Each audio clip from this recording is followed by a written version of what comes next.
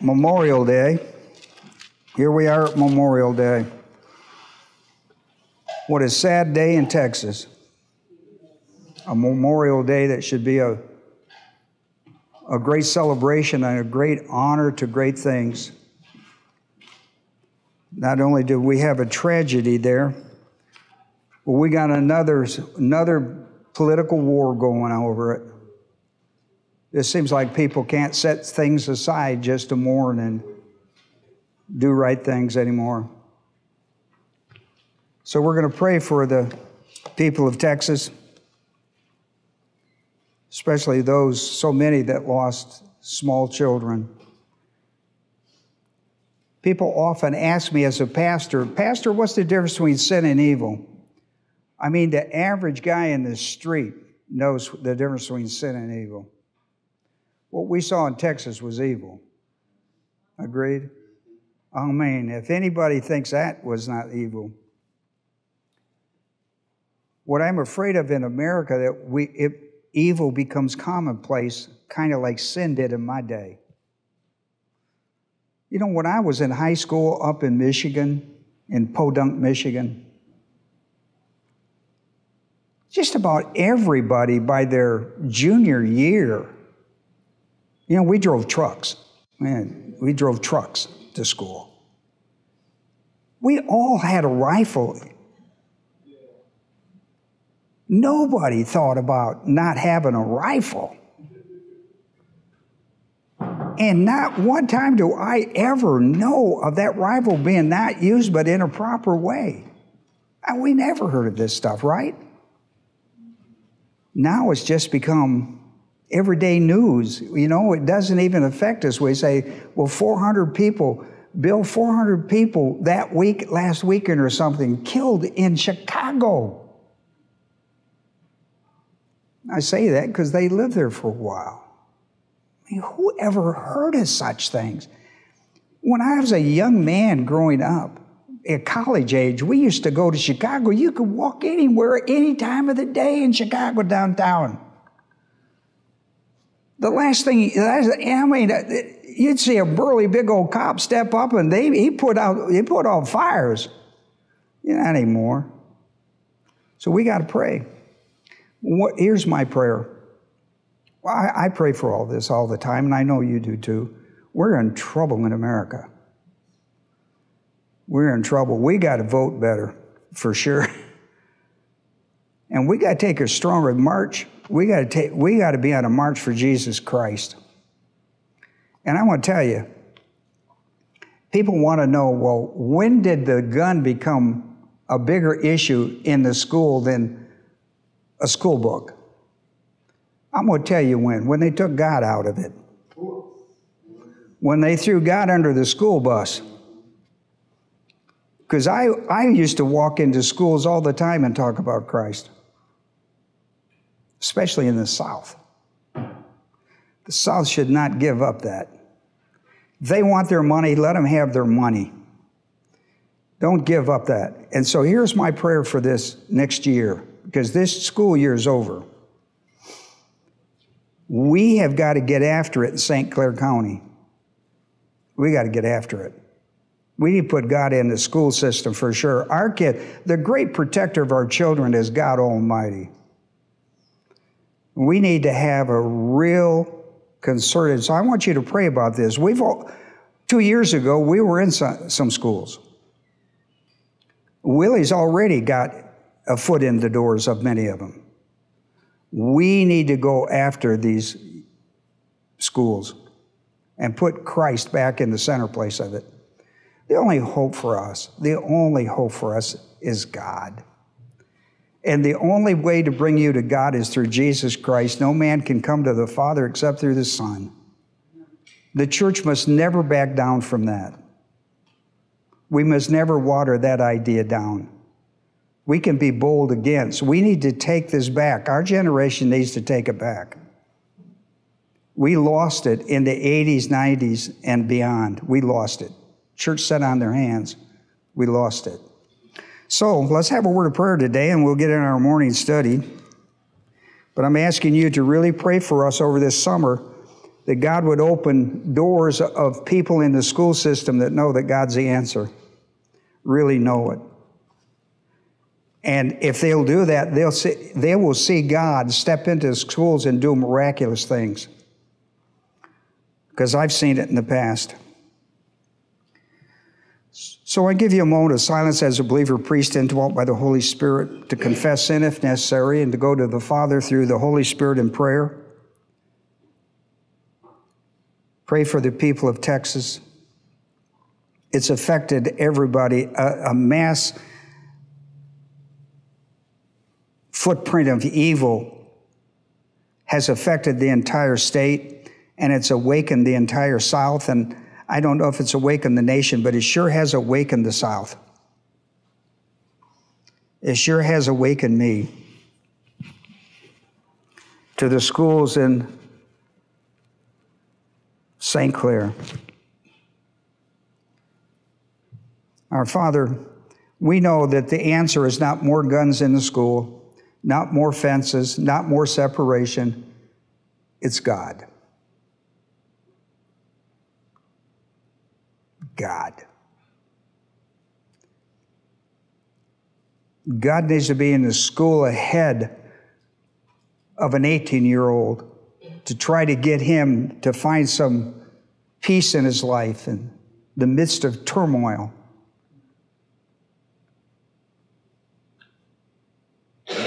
have PTAs that used to open in prayer and, and talk about the importance of God. Pray for St. Clair County. We'd, not, we'd be ahead of this. We're probably already behind it. We need to get ahead of it, Father. We need to take care of our, our babies here. And we pray for it everywhere. I pray there is a great awakening in the South that there should be. The great Bible Belt that sends missionaries all over the world needs to start sending them to their communities, into their schools, and into the highway and the hedges. Open doors for us and give us courage to do, do what is on our plate to do, and that's to bring the gospel. It changed every one of our lives. It will change every one of theirs. We need to be bold with it. So I pray today, Father, you would help us prepare ourselves for it as a church, as a congregation. Open those doors. Give us the boldness to be faithful to preach the truth of the gospel of Jesus Christ for the generation that we're responsible for, and especially these small babies, these children, Father. It breaks my heart to see this. And so I, I want to do something about it. I want to do something about it in St. Clair. So give us that privilege, Father. Give us the boldness and whatever else it might take to do this. What has happened to us, Father, in America is a disgrace. I pray that you would give us the courage to send the message strong and that other brothers in the Lord that really know this would say enough is enough and they would begin to take it to the highway and the hedges, the message of truth in Jesus' name. Amen. Well, no sense me telling you to turn to Genesis, Genesis 1 1 and 1 2. Because by now you should have that memorized because we're in our ninth lesson we have paused between Genesis 1 1 and 1 2 to tell you all the things that occurred before we could ever get to the foundation of the world or the creation story in Genesis 1 3. Just to remind you of a few things that we have discussed that are, are in between Genesis 1 1 and 1 2. We've talked about the Eternal Life Conference. That's a very important doctrine. In fact, we are still running off from that doctrine today. The Bible came out of that, both in the first, what we would call the Old Testament, and then the New Testament came out of that. Uh, the centerpiece of the plan was that, Jesus, that, that Christ, the Son of God, would become flesh and dwell among men. would go to a cross and die for the sins of humanity, would be buried and raised on the dead the third day, ascend back and be seated at the right hand of God the Father. And from that comes an enormous promises to us. For example, one promise that you and I have from this experience is that to be absent from the bodies, to be present with the Lord. When a believer dies, he goes up into the presence of the Lord Jesus Christ. That was never true prior to him doing that. It was never true. There are so many privileges that we have. As the Son of God, He's our daddy, and we have access to Him at any hour, at any time, with any request. We are all indwelt by the ministry of the Holy Spirit. The third member of the Godhead lives within inside our body. That's never been true. We have a completed canon of Scripture. We know from the front to the end of human history. We know when it began. We know how it will conclude because we have the Bible. We are such a blessed people. So we, we studied this as uh, that aspect. We studied about the fall of Satan how that affected Genesis 1 2 with the darkness, the domain of Satan, how it came into existence, uh, what, the, why the water circled the earth like the darkness did, and how that was kept in place by the ministry of the Holy Spirit in verse 2. Uh, we talked about how the domain of darkness got into the world through that, through the fall of Satan. We've talked about that. We talked about the creation of the abyss that occurred in that period. Now we're talking about the angelic conflict. We're talking about the angelic conflict. This is part one. Uh, next week we'll do part two on it. People often don't know that a lot of things happen between Genesis 1 1 and Genesis 1 2 that affect our whole world system and the church. And so I wanted to stop and do a discussion about that with you. And so I've done nine doctrines. I've done nine doctrines with you. We start with the book of Genesis and we go to the book of Revelation. All of that eternal life conference. In between Genesis 1 1 and 1 2, I'm going to do 10 studies with you. I'm going to do 10 studies with you before I ever get to creation story. Because that much, that much happened and became part of history. Okay? So I wanted you to know that what's happened between Genesis 1 1 and 1 2 is very important to the lives we live today. So, we have learned from Genesis 1 1 and 2, the Eternal Life Conference, the world creation, and I find this really interesting. I put that on your paper. At the Eternal Life Conference, before the world ever began, Genesis, I mean, 1 Peter 1.20 says, For he, Christ, who would be the Son of God, who is identified by Peter as the Lamb of God, in other words, the sacrificial Lamb of God at the Eternal Life Conference, was foreknown before the foundation of the world. There's the Eternal Life Conference. Watch this now. And you should circle this word appeared, but has appeared the Christ that was picked to be the Lamb of God, the sacrificial sacrifice in eternity past, has, has appeared into human history in what's called the last times of human history. The last times of human history. When the rapture comes, we can start a countdown of time, right? Seven years, a thousand years. We've talked about that. We have learned that between Genesis 1 1 and 1 2, the fall of Satan occurred to cause the threefold conditions of the earth to be chaotic, which is described in Isaiah 45 18 as uninhabitable. We chose, I chose, to study Revelation, the 12th chapter, to give you a panoramic view of the fall of Satan in the origin of it to the conclusion of it when he is cast into the lake of fire. That's why I chose that passage. Today we will learn that the fall of Satan was the cause of the spiritual war between God and Satan, the elect angels and the fallen angels, that we refer to as the angelic conflict in our theology. Matthew 25 41. Then he will say to those on the left, this comes out of the Eternal Life Conference. He will say to those on the left, Depart from me, accursed ones, into the eternal fire abyss, prepared for the devil and his angels, lake of fire. They will go to the abyss and then they'll go to the lake of fire. We've studied that. If you missed that study, go back to our go back to our website, pick it up, and become current.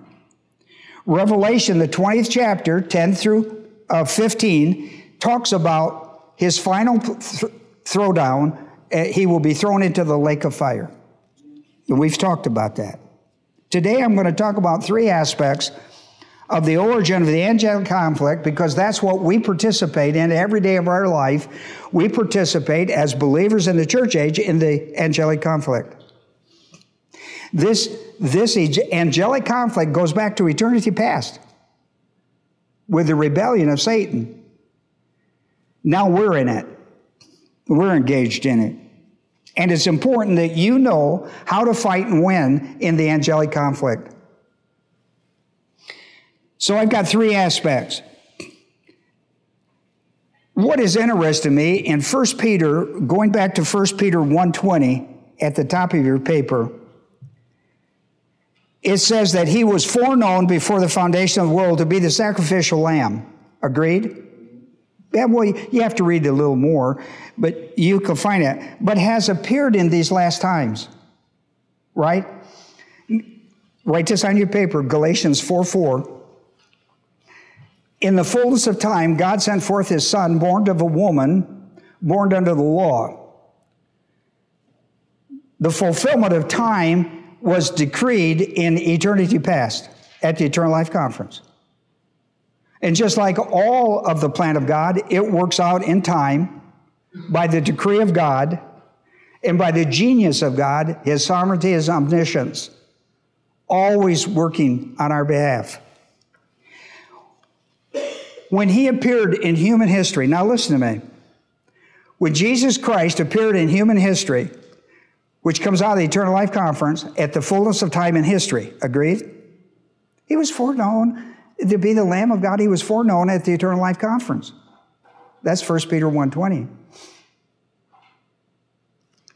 When he appears, he appears as a baby. Agreed? Born at Bethlehem, the Christmas story. Bethlehem's Christmas story. The very next Christmas, the, the very next year after his birth, Herod does what? Try to kill him. Now guess who guess who's promoting that agenda? Right? Now he doesn't come out and take take credit for it yet because it didn't work. Right? Because God did, did for him what God does for you. God did for his son what he does for you as a child of God, right? Protects you. God gave them a heads up ahead of time, and they got away from him, didn't they? They went to Egypt. Look, do you not know that God is always a step ahead of you? Is clearing the path for you to move forward, is taking care of all the logistics that are on your next day schedule. Do you not know that? Listen to me. This is why you're told to walk by faith and not by sight. You walk by faith today and it takes care of your tomorrow And when tomorrow comes, you walk by faith and it takes care of your tomorrow. And that's how you get from this point to the end of your life. You walk by faith and not by sight. Faith says, I believe God has got my path covered. I believe he's got he's figured out everything in front of me.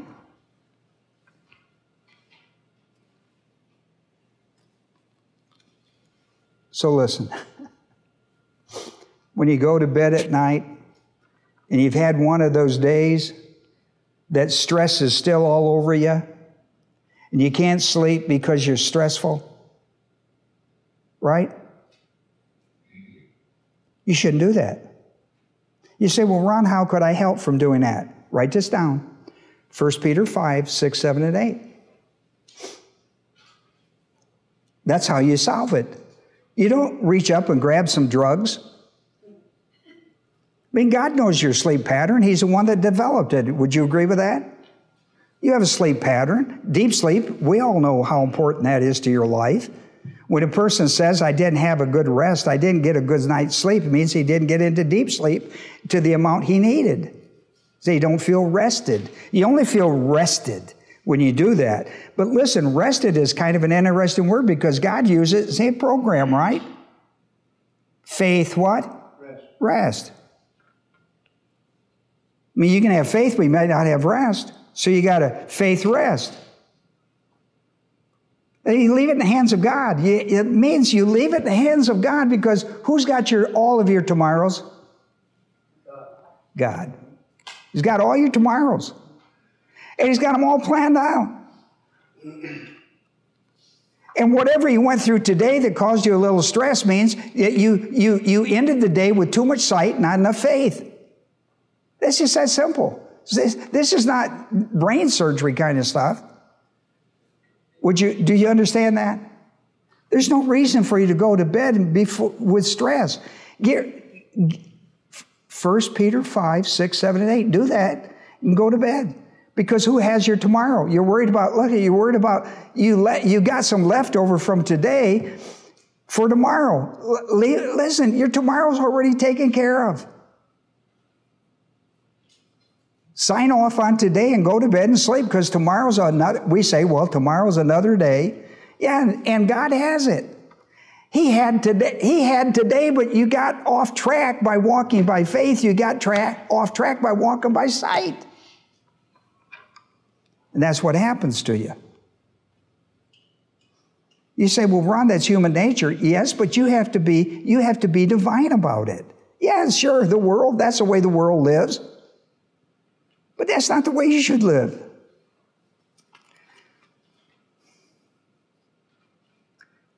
Listen, that's how you turn stress into good.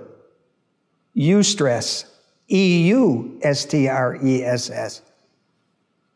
Good stress.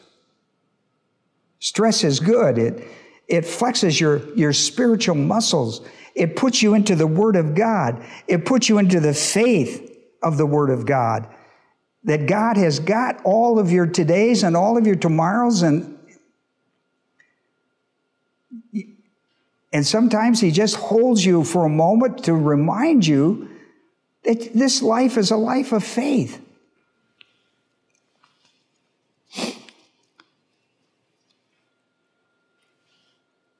I mean, the first thing Satan tries to do when Jesus appears and the Magi come in and tells King that there's a king in competition and he's the king of the Jew, and yeah, yeah, yeah, yeah.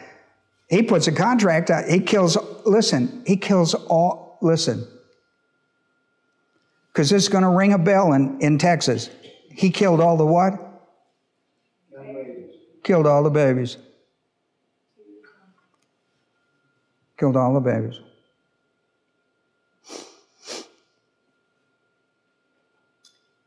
And God took every one of them. God took every one of those babies into his presence. Not one of those babies died without the presence of God. Not one of those little children in Texas that got murdered died without the presence and the power of God in that transfer.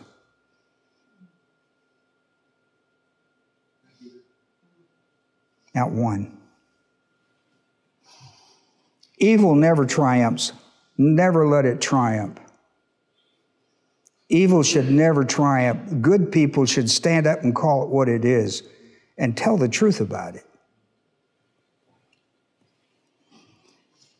Jesus Christ now is full grown and he's ready to begin his ministry. Go to Matthew, the fourth chapter. And guess who shows up again? Now Jesus made a second appearance. That's historical importance. His second historical importance is to introduce, be introduced by John the Baptist and begin his own ministry. Do you understand? We're in Matthew 4. In Matthew 4, the devil shows up the second time. And pay attention to this. I put it on your paper as well. I walked you through some of this. Let me get four. Now he's ready to go. John has baptized him in the third chapter, and a voice out of heaven has declared, This is my beloved Son in whom I'm well pleased. And Jesus is now to begin his ministry, headed to Golgotha to pay the wages of sin of the human race. Then Jesus was led by the Holy Spirit into the wilderness to be tempted by the devil. And after he had fasted 40 days and 40 nights, he then became hungry. And the tempter, the tempter shows up. Verse 3 The tempter came, and he said to him, If you are the Son of God, command that these stones become bread. Jesus answered, It is written, Man shall not live by bread alone, but on every word that proceeds out of the mouth of God. The devil, notice he was called the tempt, tempter, right? Now he's called the devil, just so you don't confuse him. Then the devil took him into a holy city and had him stand on the pinnacle of the temple. And he said to him, If you are the Son of God, throw yourself down. It is written. He quotes scripture to Jesus. He will command his angels concerning you, and on their hands, on their hands or in their trust, they will bear you up so that you will not strike your foot against a stone. Jesus said to him, On the other hand, it is written, You shall not put the Lord your God to the test. The devil Again, the devil took him to a very high mountain and showed him all the kingdoms of the world and their glory. And he said to him, Jesus, Satan says to Jesus, All these things I will give you if you fall down and worship me. Jesus said to him, Go, Satan. It was more like, Go! Satan. For it is written, You shall worship the Lord your God and serve him only. Now, let me tell you three things that I think is important you walk away with from that. Because we fight this guy. As a member of the church of Jesus Christ, as a member of the body of Christ, 1 Corinthians 12 13. This is a guy we fight. We fight him every day of our life. Man. So there's some things we should walk away with how to beat the devil at his own game. How to beat him. So I broke this down into three sections of the attack on Christ. He attacked Christ three times He attacked him personally and face to face. Now, you, you, have got to understand that. Jesus Christ was personally engaged directly in the angelic conflict by Satan as Jesus prepared his earthly ministry to go to Golgotha. Here's the first attack, verse 3. Here's what this says in the Greek language that's important. If is a first class condition. In the proper order, this is called a, a, protasis. The if is always out first, and then the apodosis is the then, if then. Do you have that? Always a if and then the then. This is a first class, which means if it's true in the if, then it's true in the then. Do you understand that? All right, watch this. Satan says to Jesus, If you are the Son of God, and we both know that's true, command these stones become bread, and we know that would be true because if you're the Son of God, you can do that. Right? So, what he wanted him to do was to use his divine power to give him a loaf of bread.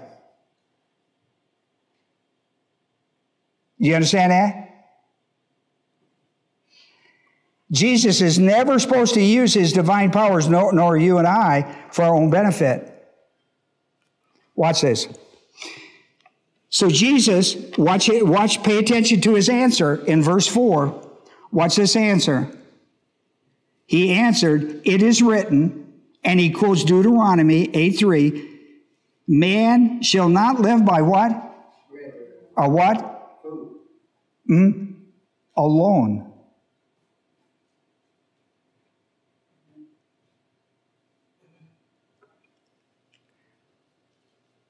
Right?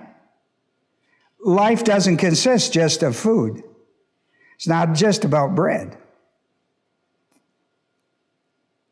That's your first mistake you just made with me, Bubba.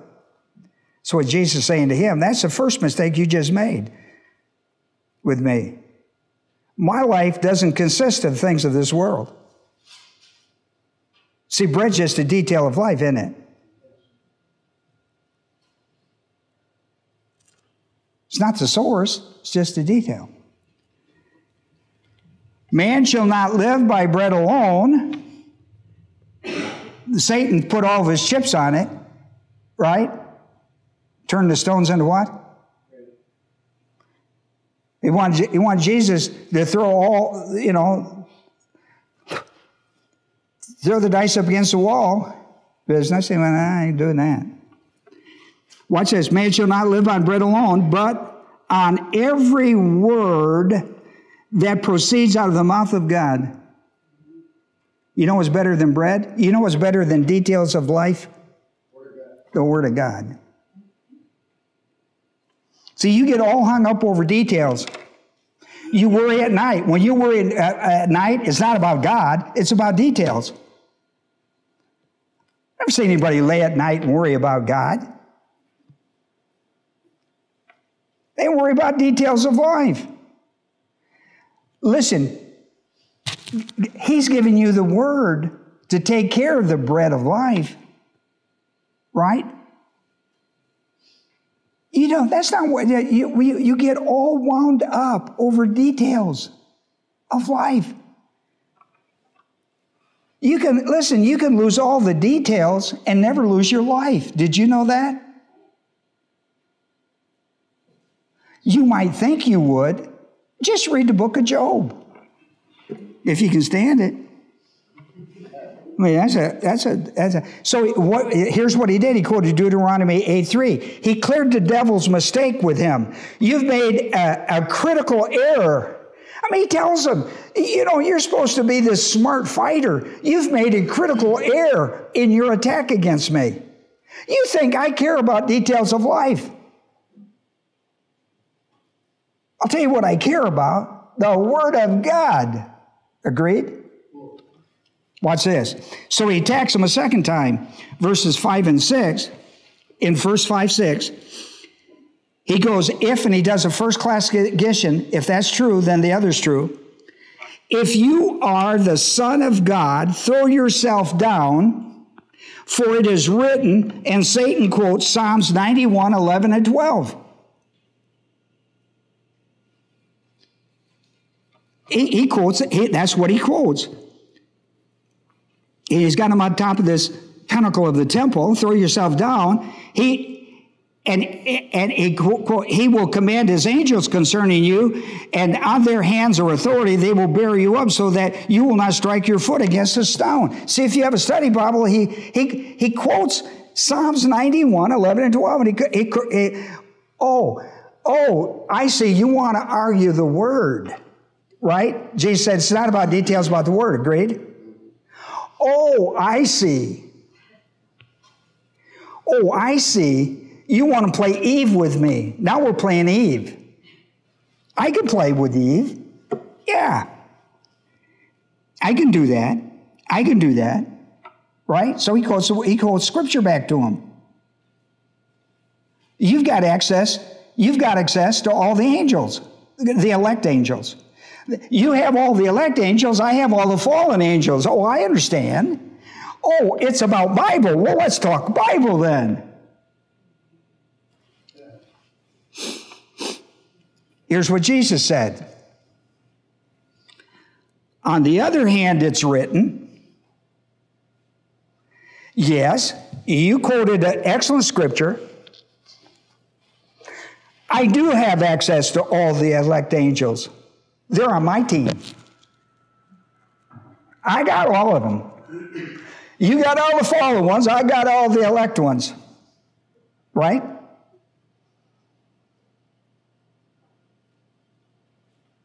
That's not what it's about. This is what he says. On the other hand, it's written, You shall not put the Lord your God to the test. And he quotes Deuteronomy 6 16. Eh, eh, listen to what he says. We both know you're slick.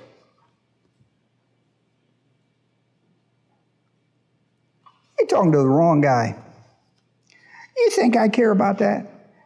Do you think that the fact that I got access to all the angels, there'll come a day, there will come a day when you will bring me that challenge, and my angel will put such a serious whipping on you, it'll be unmerciful. That day's coming, big boy. You've hit the right scripture on that. That day will come and it will bite you for eternity. But that's not now. I got bigger fish to fry than you. Watch what he says. Watch what he says. You shall not put the Lord your God to test. Look how he addressed himself to Satan. Who do you think you're talking to, bud? Who do you think you're talking to? Quote the scripture to me like that. I give you credit. You're slick, but you're dumb. You have no idea who you're talking to. You've spent so much time in the evil, you forgot what good is about.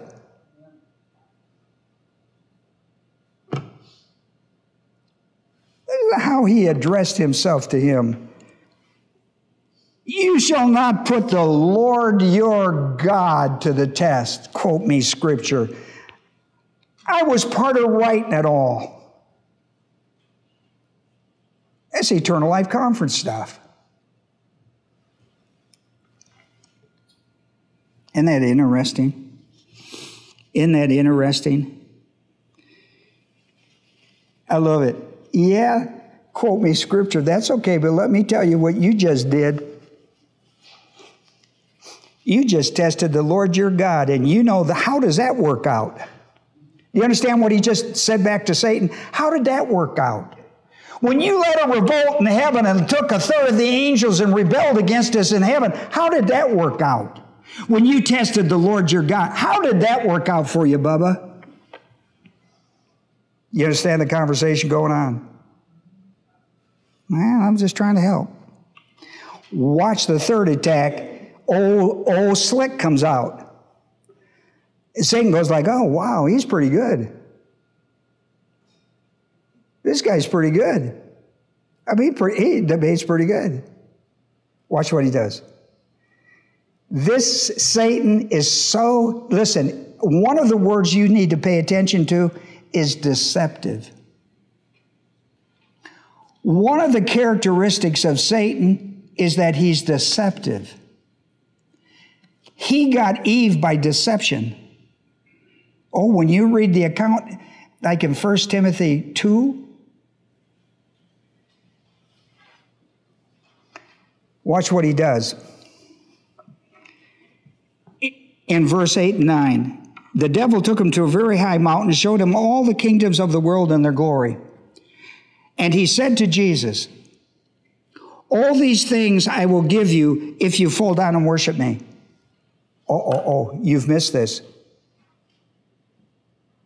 You've missed this. Look at the order of this sentence. Is the if at the beginning or at the end? Is the, is the word if at the beginning of it or at the end of it? It's at the end. It's supposed to be where? It's supposed to be at the beginning. Look at the other two. Look, I wrote them on your paper so you wouldn't miss it. See, if you are the Son of God, uh, uh, uh, if you are the Son of God, see that both times? See what I mean? Put it up first. Agreed?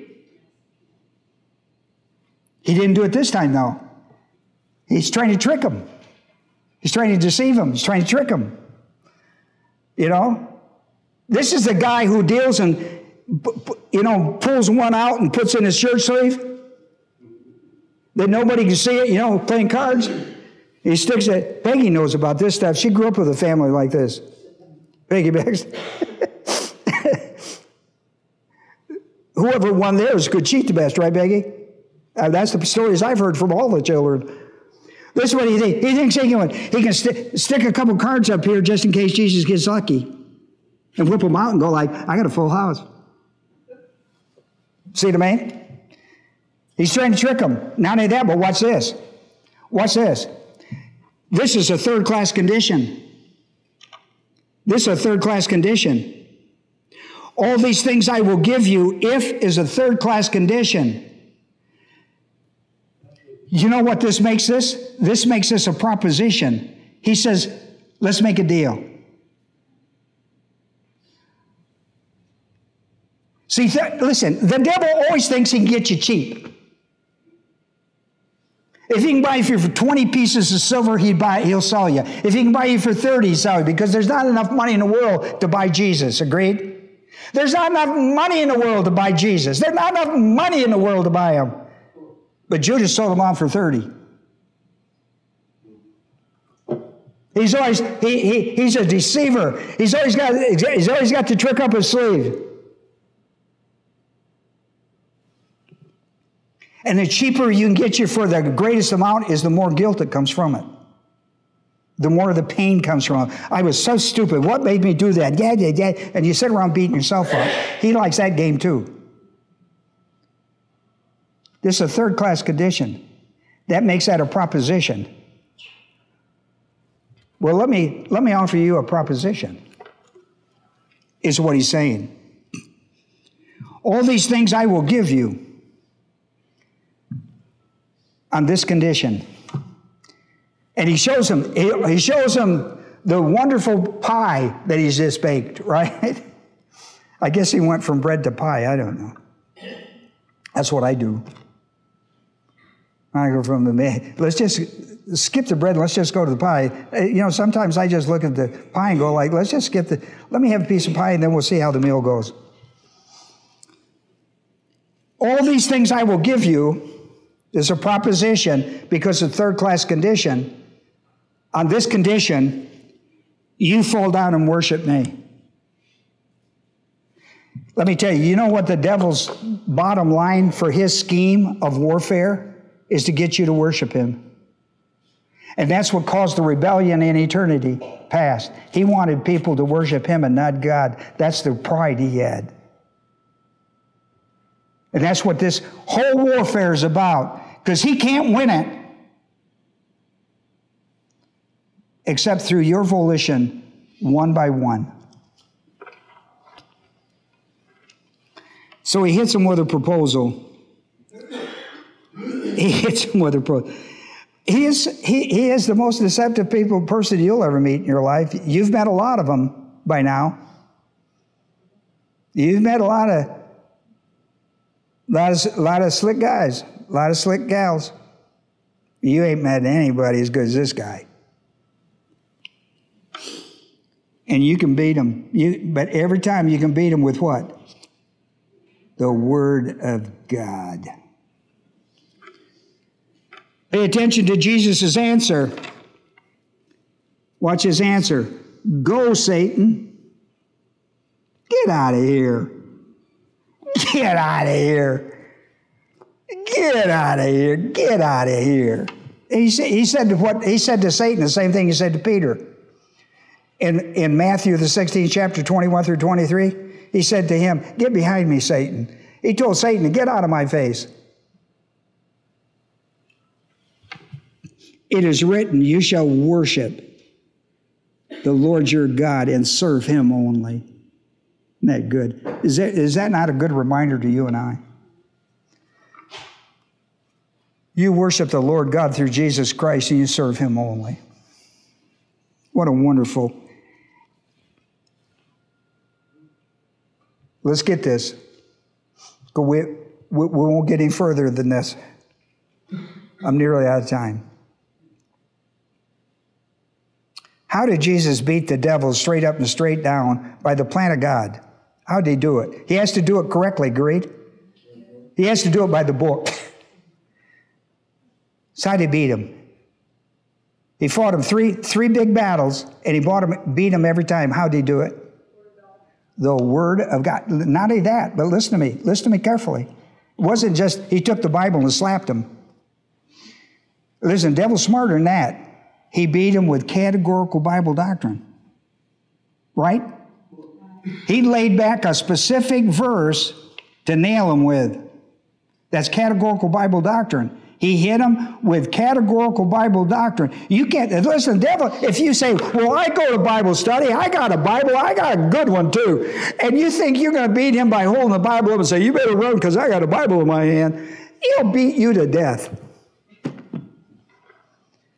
Because he can quote what you can't. And you better be on your game. And listen, you'll be on your game through the Holy Spirit of God in John 14 26. What he teaches you, he can recall. what a wonderful. And here's the victory. And the devil did what in verse 11? Eh? He didn't want any more of that, right? He didn't want any more of that. And listen, in the end, he obeyed Christ. What did Christ tell him to do? He said, Go away, Satan. Just go away. I don't know how he said it. I said it loud. Now I'm saying it soft. I don't know how he said it. But he did say, Go away, didn't he? And did he? Yes. Listen, did he? Yeah, he beat him. But he beat him with the word of God. He didn't.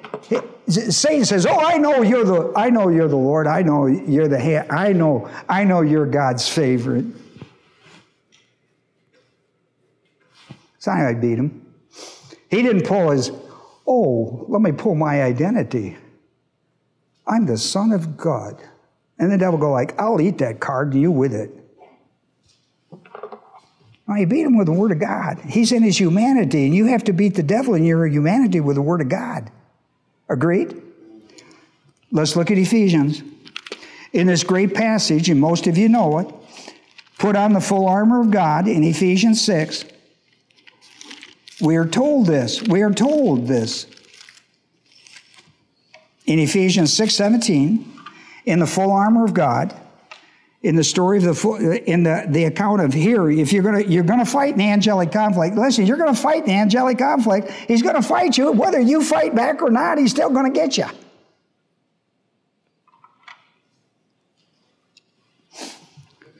You can beat him every time. Every time?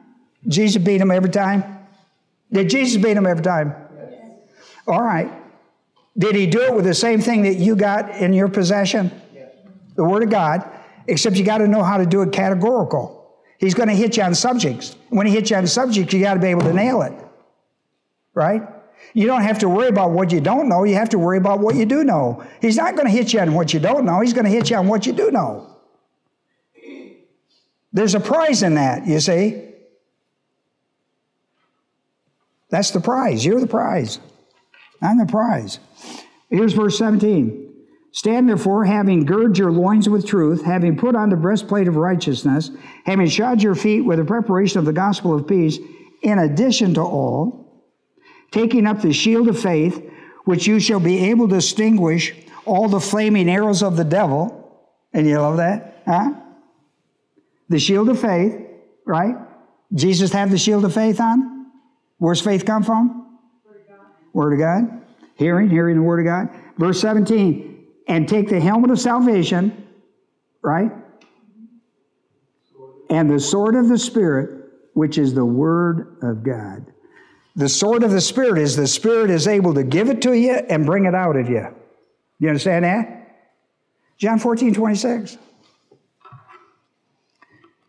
What we have to come out of this study with today, understanding, is that the spiritual offensive weapon that always brings victory to the Christian way of life against Satan is identified in Ephesians 6:19 as 6:17 as the sword of the spirit which is the word of God. Okay? Well, you can read the rest, right? Because I'm, I'm out of time. It's, it's time to have a cup of coffee. And the angels fed him. That was one amazing meal. Yeah. You know what? I didn't I didn't have time to talk about this subject matter, but you know when when when Jesus was arrested in Gethsemane, right? And Peter draws the sword and says, "I'm here to defend you," you know, to the bitter end and all that. Jesus told him to put up his sword because he could have done what? He could have called legions of angels, couldn't he? He could have. But he didn't. Because he had to go to the cross alone for you and I. Think about that. I mean, that's a marvelous sacrifice. I could have called him, he said, but I didn't. We're on that team, though. We're on the team with the guy who's got all the angels that he can call. And one day he will. So, our Father, we thank you today for these that have come and listened to attentively to our study on the angelic conflict and how it's personal. It was with Jesus, it will be with with the same sons of God in Christ.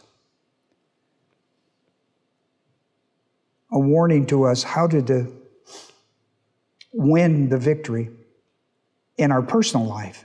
Eh, Christ won it for us, but we have to fight it out.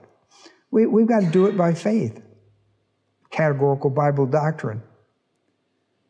We can win. We can win every day, every way, and we thank you for it. We pray, that, Father, for the offering that's about to be taken, that you would give us good sense about it to reach as many as we can for Christ so that when he comes back, he has more people to take.